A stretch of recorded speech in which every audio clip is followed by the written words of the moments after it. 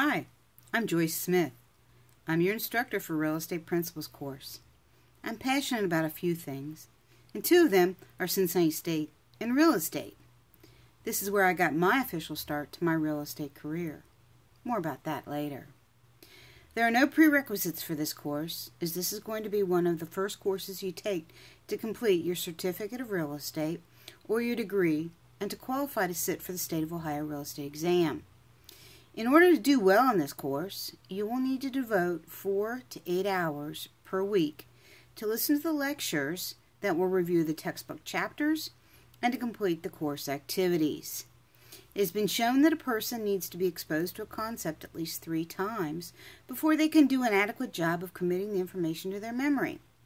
The State of Ohio Real Estate Exam is a multiple choice exam that will require the test taker to remember parts of real estate law, real estate appraisal, real estate finance, and real estate principles.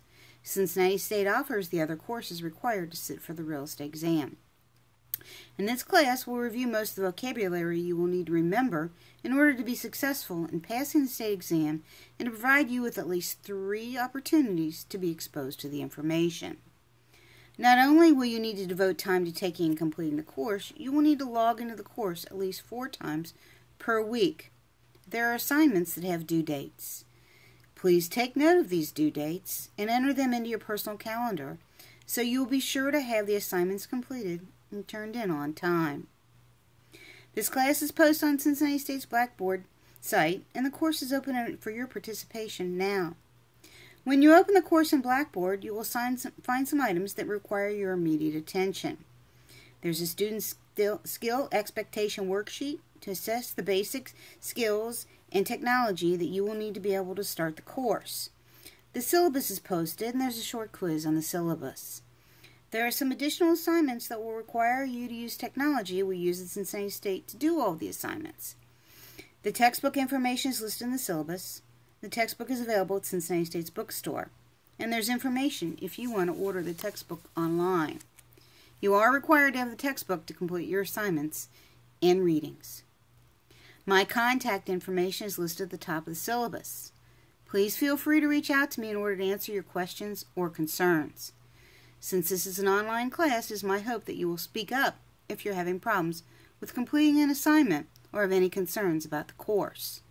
Reach out to me early and often if you have problems, and not after assignment is or test is due and complete. Now, the reasons for two of my passions. I've been associated with Cincinnati State for over 30 years. I received an associate degree with a double major in real estate and property management. I met my husband while I was attending the college. Did you know there's a swimming pool on the campus? I was a lifeguard there for my work study job for two years, and I met him there. I've had several family members attend Cincinnati State over the years, so this is a family thing for me. My twin sister, my brother-in-law, my niece, my mom, and my youngest son have all attended Cincinnati State over the years. After I graduated, I pursued my career in commercial property management and real estate and became property manager of a downtown high-rise office building by the time I was 21 years old. I continued my education and received my bachelor's and master's degrees over the next 20 years. I've had a few designations in property management and insurance and am an Ohio real estate broker. I have several have had several different positions in real estate and use the experiences that I've had to help you see how what we talk about is applied to the real world. I started instructing courses at Cincinnati State in the late 1990s and have had taught courses in property management, real estate principles, real estate law, LEED for facility managers, and FYE courses. I am looking forward to getting to know all of you and hope this course entices you to start your career or interest in real estate. I am not only here as your instructor, I also hope to be your mentor to help you as your career grows. Have fun and enjoy the course. Thank you.